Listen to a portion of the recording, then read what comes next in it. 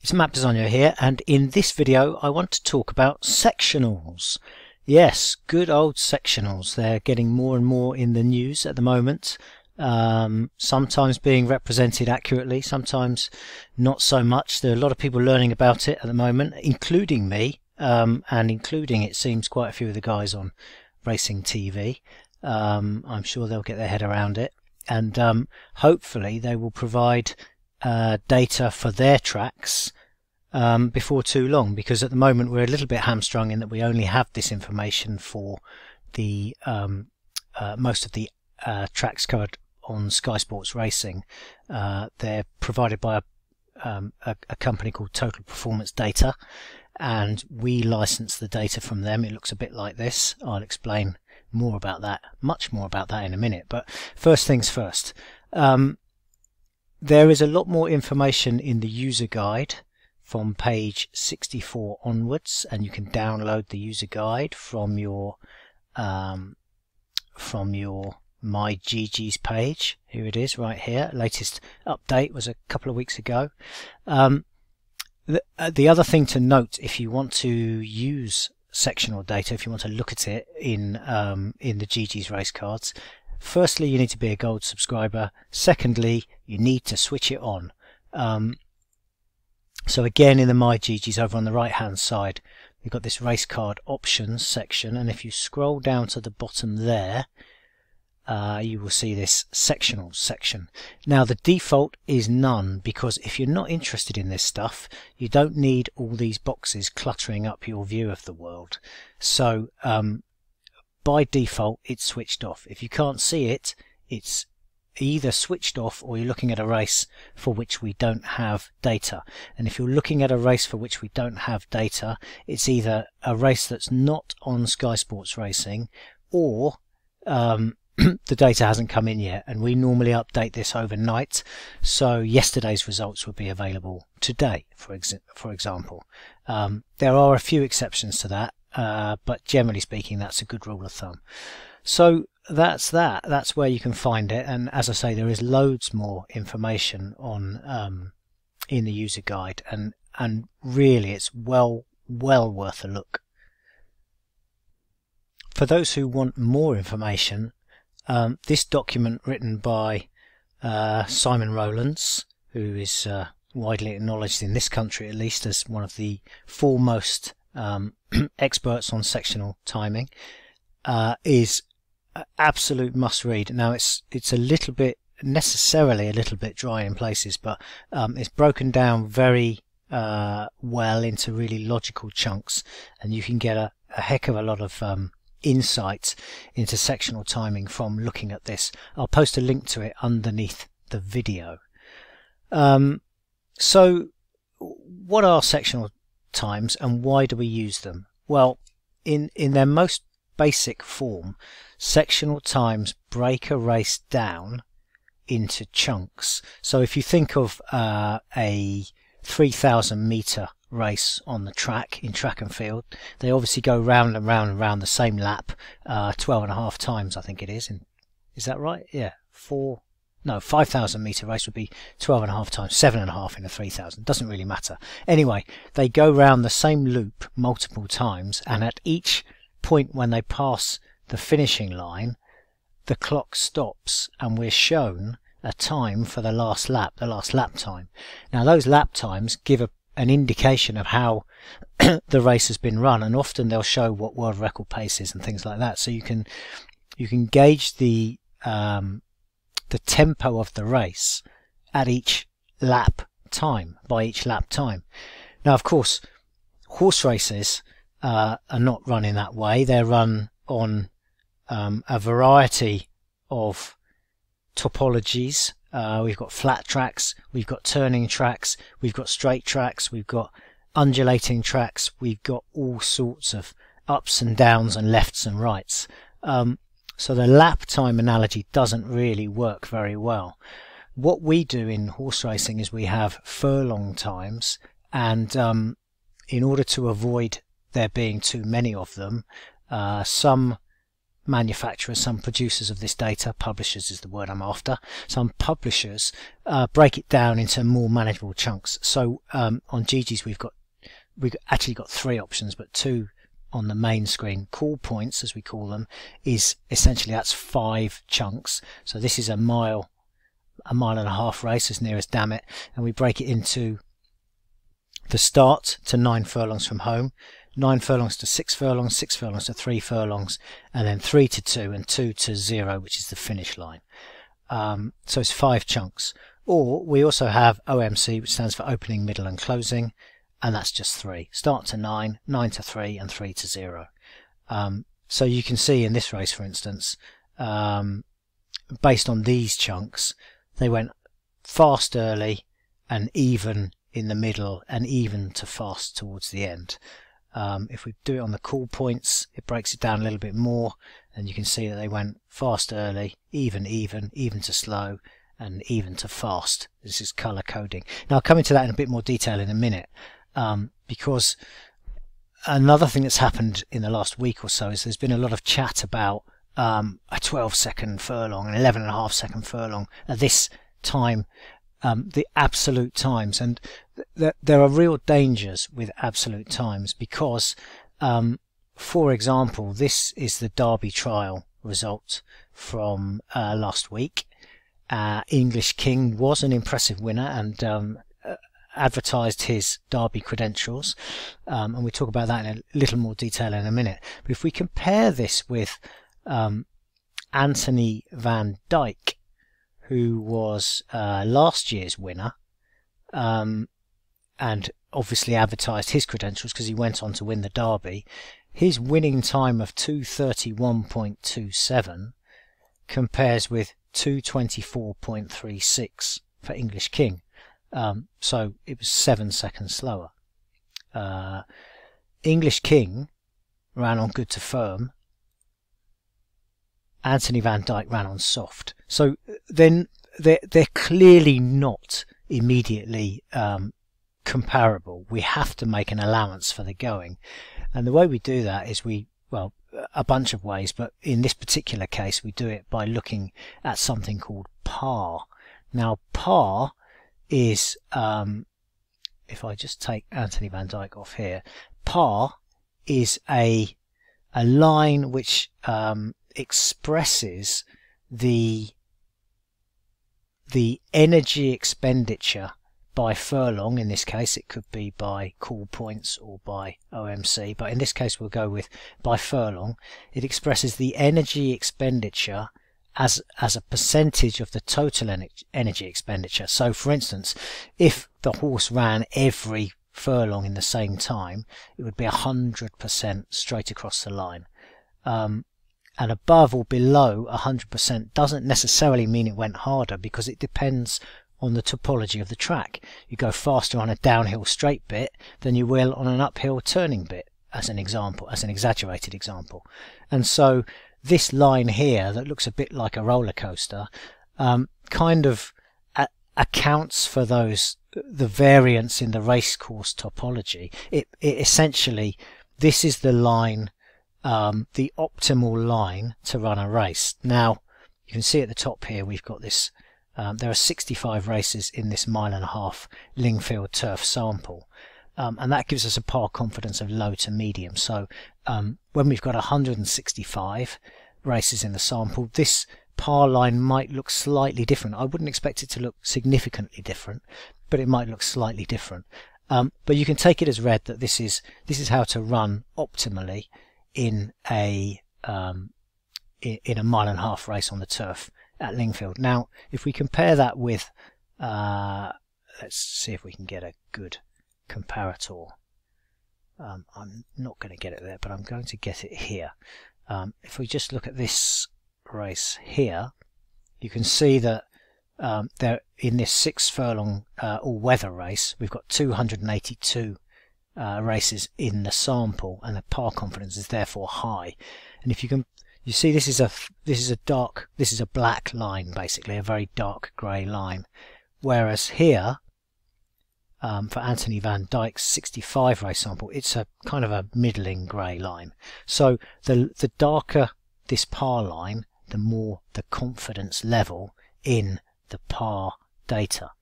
Um, okay, now one thing that's really important to say about par is that par is not an average. It's not the average of, um, we don't take the 65 races um, and work out what, what all of the leader's energy expenditure was after a furlong and take the middle one and put it in there. That's not how that works. And the reason we don't do that is because um, we're trying to assess what is a truly run race.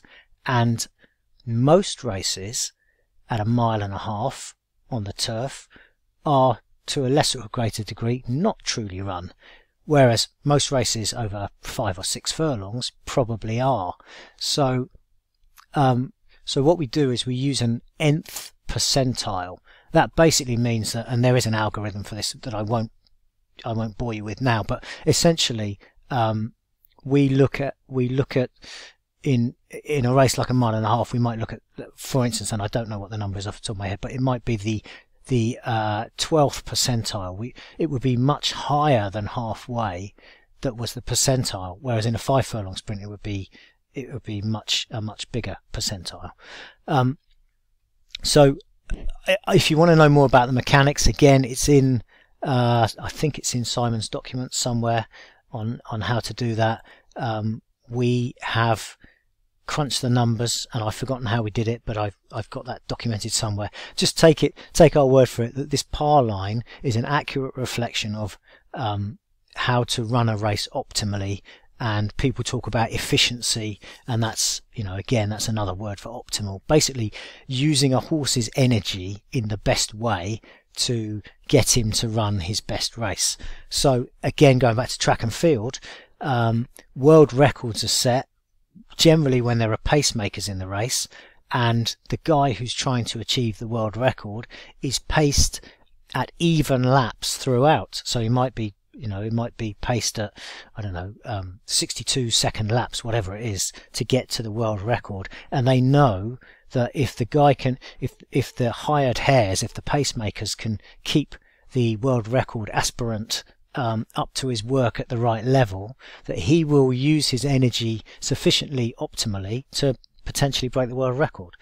Um, compare that with a championship race where be, it might be much more tactical and much less fast as a result, and they might crawl around for the first uh, six laps in 3000 of a seven and a half lap race, and then somebody sprints with a lap to go, and then with 300 or 200 to go, um, the guys with the best kick have the best chance to win the race, and that might not necessarily be the fastest man in the race. And so it happens in horse racing as well, that the, the fastest horse can often be compromised by the run of the race. And if we know which horses um, perform best in truly run races, and if we know which horses finish best in steady, steadily run early, races, then we've got some information that a lot of people um, haven't got. And this is this for me is one of the things that um, that sectional data is really useful for. Um, it tells us how a, how a race was run. It breaks it down into chunks and says we can see immediately. Now what we can't see actually in this with these five chunks. So what I'm going to do is I'm going to put the um, I'm going to put the uh, I'm on the wrong chart here. I'll put this one on a second um, and go back to English King's Race. Now what we can see when we have, um, let me just get this in the window properly. Right, so the red line is English King and the dark grey line is the par line. Now we can see that um, first of all it's important also to say that this is a listed race. You know, this is a race for horses who believe they have genu genuine credentials to win the Derby, the, the blue ribboned Group 1 at Epsom. Um, and if that's the case, then these are going to be the best races that are run over this course and distance at Lingfield over a mile and a half. So we would expect the winners to perform above par because they are better horses than most of the horses running over this course and distance. So that stands to reason. Um, nevertheless, if we use a comparison between English King's performance and the par line, we can see what he did and where he did it. And essentially, um, he was, uh, in actual fact, the whole field was, as you can see from this orange block for the race leader uh, at the top here, um, the whole field was well above par in the early section. So that's the start to the nine furlong. So that's to here, um, this chunk here. And I can replicate that one here actually if I do that. So we can see that the start to nine furlongs, the sectional, the par sectional percentage is 92.2. Um, and the lead, the the English King in this case did 96.3 for the sectional percentage.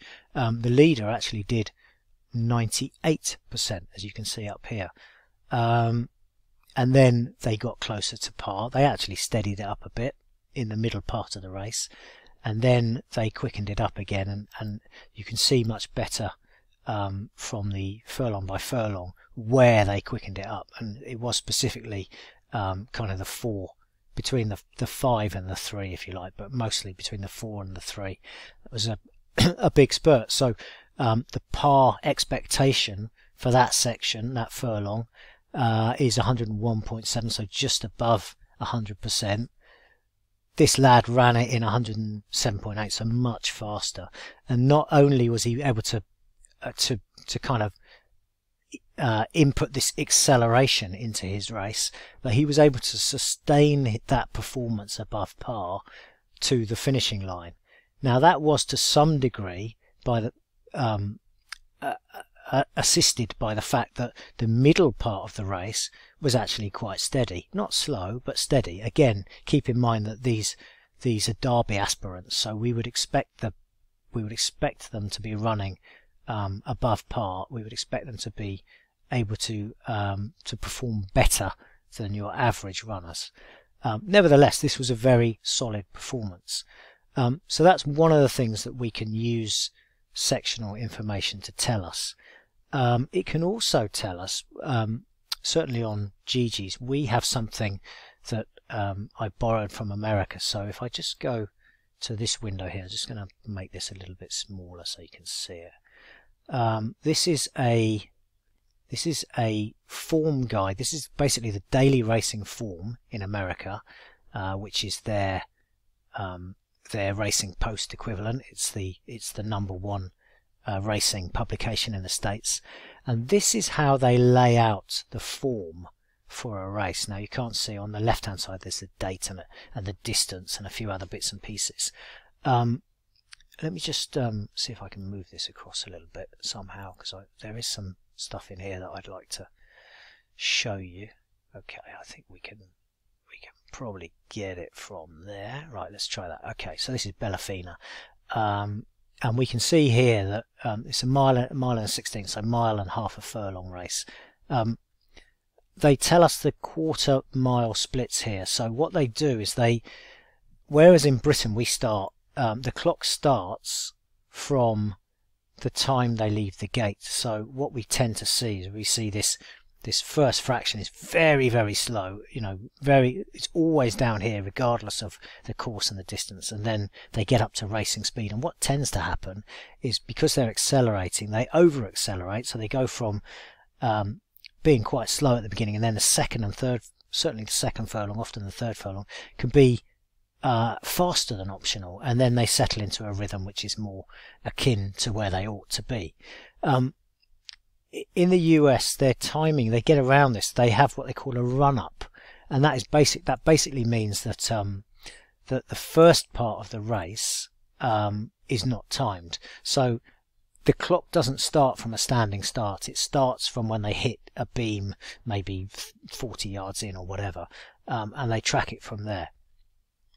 Anyway, so this 22 and 3, this is 22 and 3 fifths of a second for the first uh, quarter, then 46 and 1 fifth for the um, through half a mile, and then 1 minute 11 through 6 furlongs, and 144 and a fifth at the finish, so eight, eight and a half furlongs.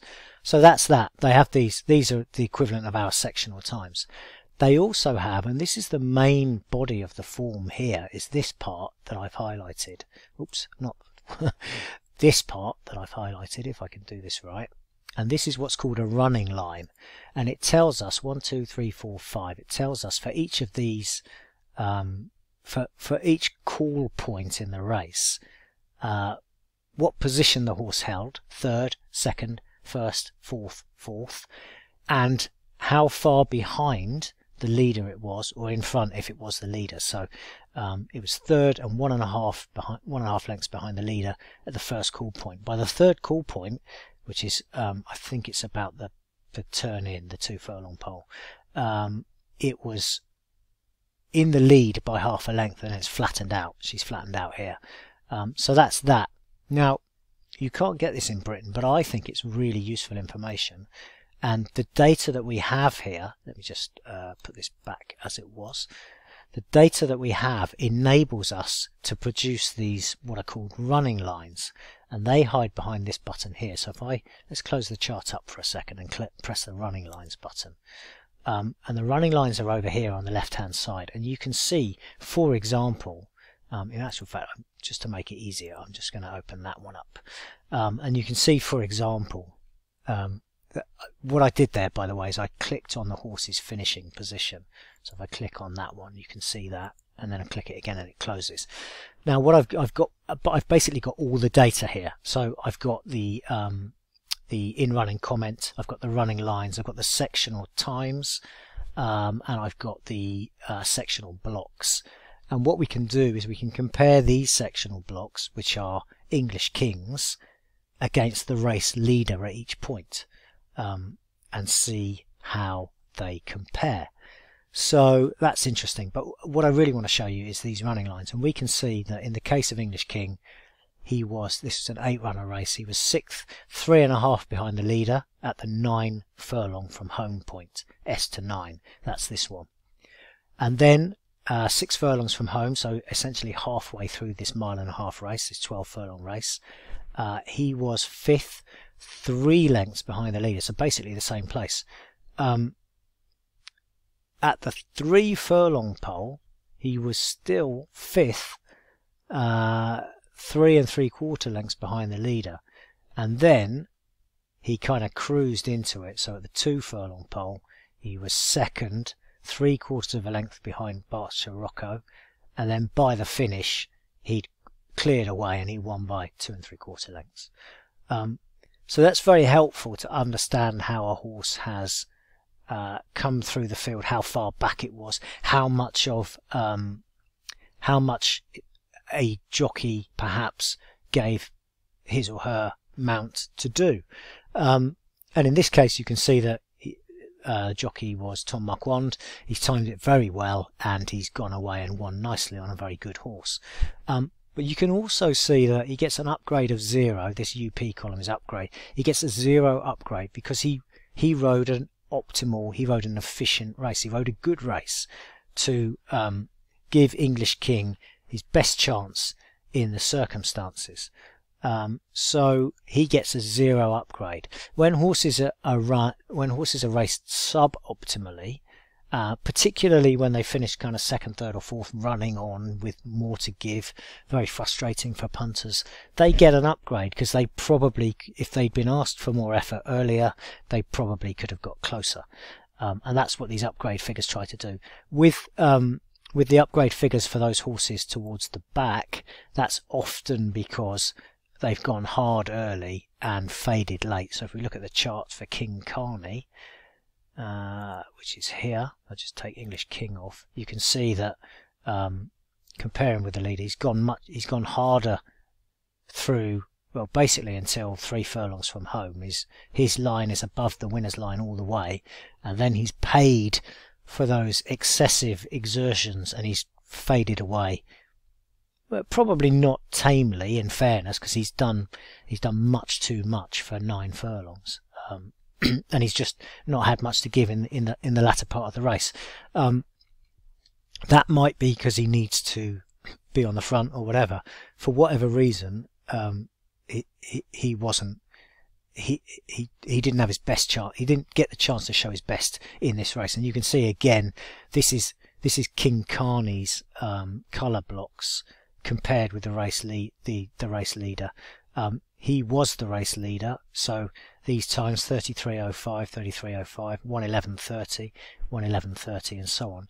Um, they are the same in the early part of the race, but then he concedes the lead um, and this is the race leader so they change here and these percentages are a percentage of the the race leaders the, the race leader at the finish i.e. the winner's time um, rather than King Carney's which is 227.59 it's three three and a bit seconds slower. Um, and you can see that his race was um, he was he was extremely in the red zone early and as a consequence of that he went he went red even even to slow slow very slow um, so that that kind of tells you uh, that's a color representation of what it says in the running lines here. So he led by a length and a quarter at the nine furlong from home. He led by a length and a quarter at the six from home. He led by a length and three quarters at three from home. And then he was hanging in there as best he could at the two furlong pole and dropped back to a length third. Um, but then he faded away 20 lengths seventh by the finish.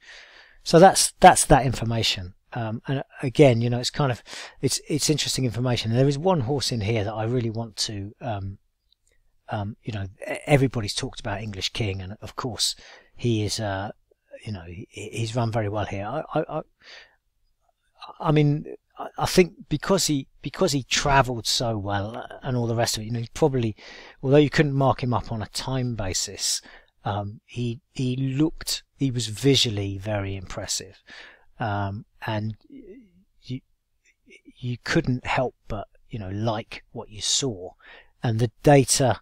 The, the kind of sectional data backs it up to some degree, although, as I say, he was given a very good ride. Um, a horse that might be of interest and might end up being quite a big price next time is Sound of Cannons. Now, he came into this race with the second highest um, official rating of 103, um, and he had some, you know, reasonable form last year, running a, a Group One in um, uh, Italy, sorry, in France. Um, at, at, the back end last year and wasn't disgraced. He ran in good company, ran in a Group 2 at Newmarket as well. Um, Brian Meehan has started the season slowly, and, and, and, this horse, I think his his data is interesting. So um, I'm just going to put it on the chart actually. So if we just find Sound of Cannons, I'm going to take English King off a second, and you can see that again. You know he's done this. Um, he's he's over raced early basically. Um, raced very close to par through the middle, and then he's got keen again. Um, he, he's kind of he's kind of kicked a bit early here, and he's got to the two pole, and he's knackered um, and faded away. Now that could mean one of three things. It could mean that um, he didn't stay, uh, and that's perfectly credible. Over this mile and a half trip, he'd previously been running over um, uh, up to a mile and a quarter, and it might have been that he flattened out in that mile and a quarter race as well. So, um, although he's a year older now, he might a mile and a half may have stretched his stamina. So he, it, it's perfectly plausible that he didn't stay. Um, sure what's happened there. Let's just refresh that a second. Um, a second credible explanation is that uh, a lack of fitness told and that um, he ran out of puff. Um, and again, you know, that's given that the Meehan horses have appeared to be needing their first run. That's certainly plausible as well. And of course, the third uh, credible explanation is he wasn't good enough. Um, and time will tell on that one. Um, but this is the sort of thing that interests me. You know, it's like everybody can pick out the winner um, as a potential Derby horse, and he's second favourite for the Derby. Great. Okay. Well, thank you. Um, that that's not it's not really helping me. To be honest, I think uh, you know he he has he obviously is credible, but um, uh, he's a he's not a good price. I, in fact, I think he's the wrong price now. Uh, in the wrong way, as it were. I think he should be a bigger price than he is. If you've got him at 20 to 1 or whatever, then happy days. But if you're looking to back him at fives, um, I'm not. Um, I'm not looking to back Sound of Cannons to win a derby, but I do think that potentially over 10 furlongs with the run under his belt, I think he might be interesting next time, and he's going to be a price. So that's one of the things that I'm looking for. Um,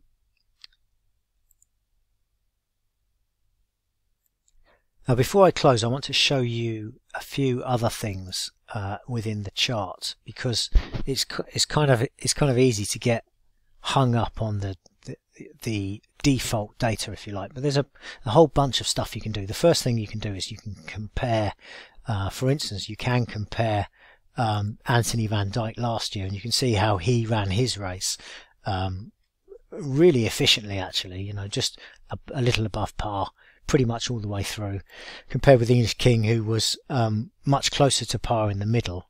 But either side of that, um, he ran faster early and faster late.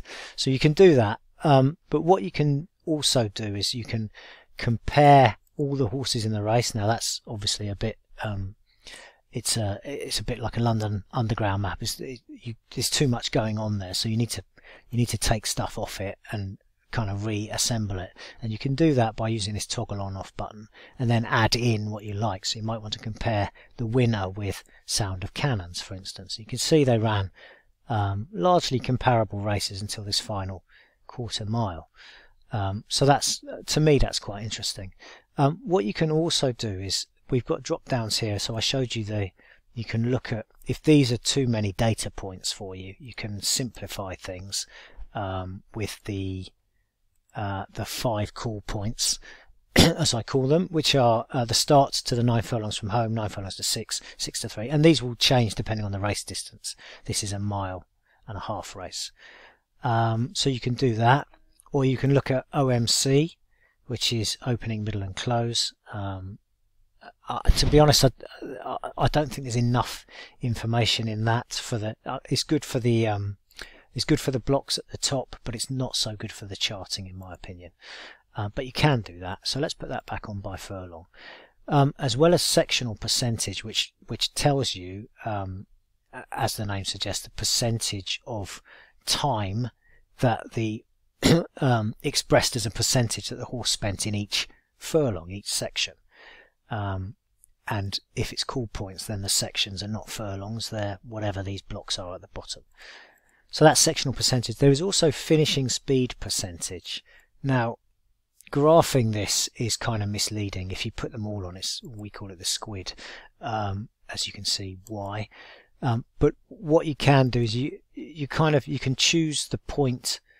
All of these numbers are from a point in the race to the finish because it's finishing speed percentage. Um, and in mile and a half races, uh, some people still like to look at the quarter mile to the finish, which would be this point here. And you can see, actually you can't see because it's off the screen, that's helpful. Um, you'll have to take my word for it on this case. His finishing speed percentage from the 2 to the finish was 107%. And we can compare that with par, uh, he says. There we go. And you can see, um, you know, par is down here um, with 104.8 and he was sorry his, his yeah his finishing speed was 107.1 so um, much higher.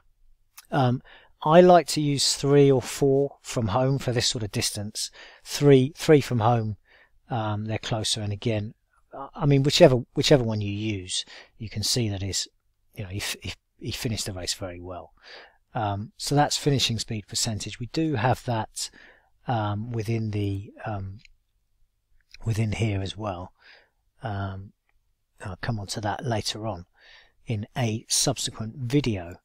What we've also got is you can look at the time. Now, again, you know, the, it bears repeating that um, this is a listed race and therefore we expect the times to be quicker and therefore under the par line. So we were over par in percentage terms, but now we're under par in pure time terms.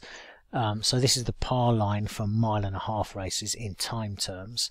And this is the actual race time that English King recorded.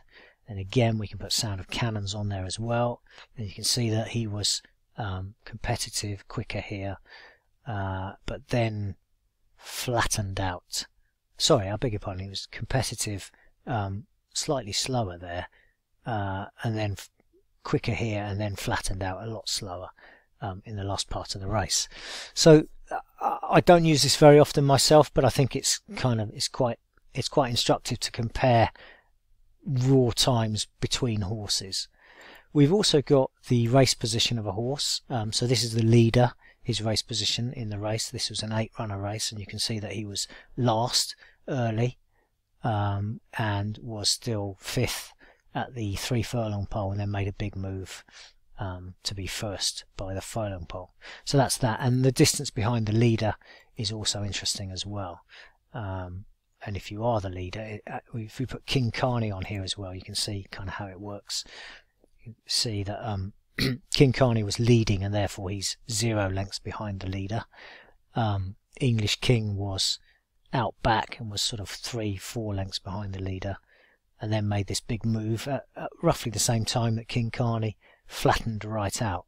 So that's kind of interesting um, for some people as well. And it, you know, it, it's you use what you use. You don't need to use anything in the chart if you don't want to. You don't need to worry about the numbers in the sectional boxes.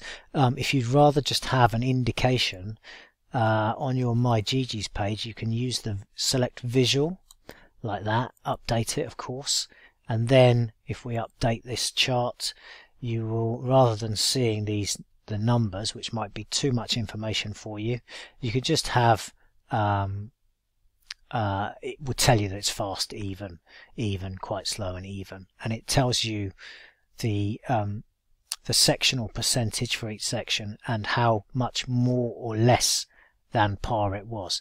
So this race was fast, six percent above par in the first section, um, even uh, like 0.1%. This is the race leader, 0.1% above par in the second section, and so on. So that might be more um, consumable if you're new to this.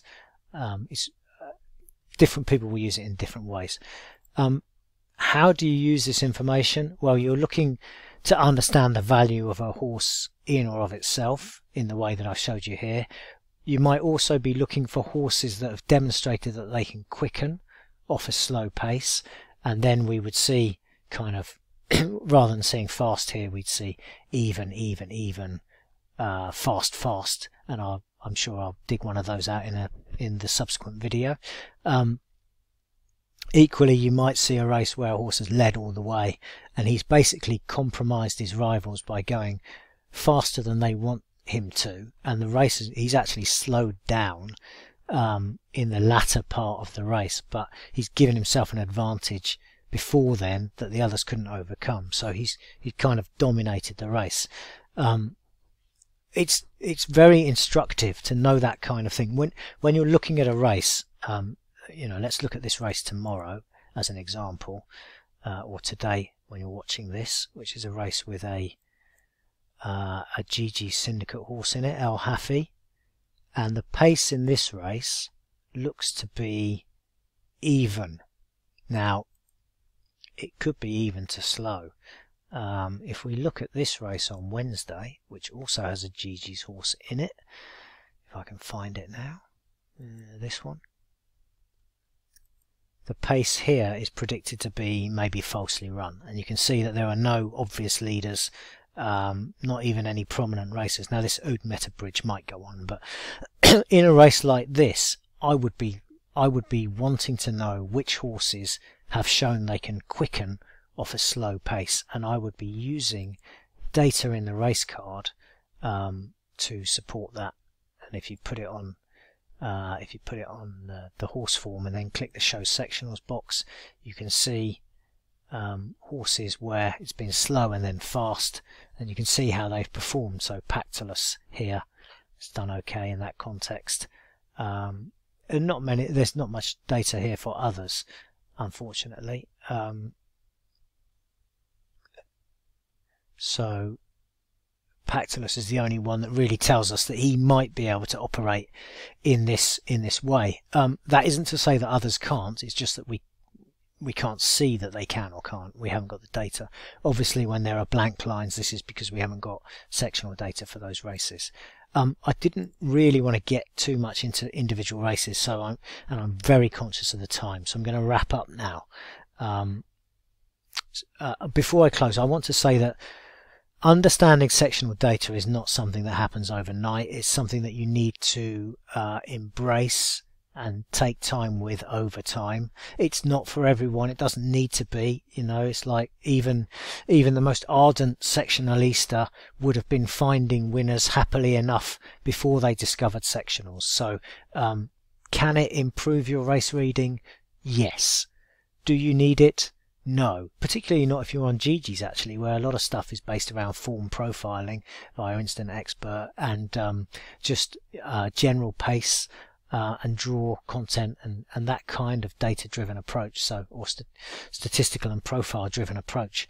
Um, sectionals does add something to that. Uh, but it won't be for everybody. And if it's not for you, then fine. You know, like I say, the default is is off.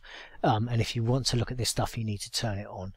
Um, over time, I hope that you'll you will uh, get curious, let's say, and get more involved in it.